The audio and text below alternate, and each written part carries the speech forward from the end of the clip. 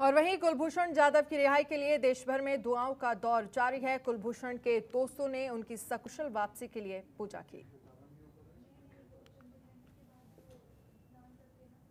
ऐसी हैं कि हम तो पूरा भारतवर्ष हमारे साथ में प्रार्थना कर रहा है कि वो जल्द से जल्द हमारे बीच में आए। आज उम्मीदें हमारी काफ़ी ऊँची हैं। आईसीजी की तरफ़ से जो भी फैसला आना है वो हमारे हक में होगा हमारे पक्ष में होगा यही उम्मीद है।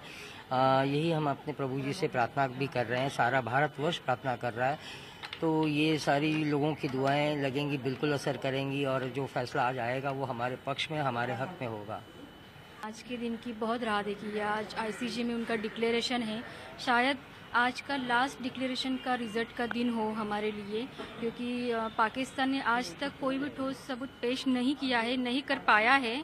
तो हमें तो आज बहुत कॉन्फिडेंस है कि हमारे मित्र कुलभूषण जाधव जल्दी ही छूट जाएँगे। देखिए, आज हम लोग सारे सारे दोस्त लोग जो है आश्वस्त है कि आज कुलभूषण जी का फेवर में ये आईसीजी का डिसीज़न आएगा। और जल्दी जल्द जल्द से जल्द ये वापस हमारे साथ आएँगे। वैसे भी आज चंद्र ग्रहण खत्म हुआ, वैसे ही कुलभूषण जी का जो ग्रहण लगा है, वो खत्म हो गया। ये हमारे प्रार्थना है भगवान जी से और वो हमेशा पूरी करते हैं।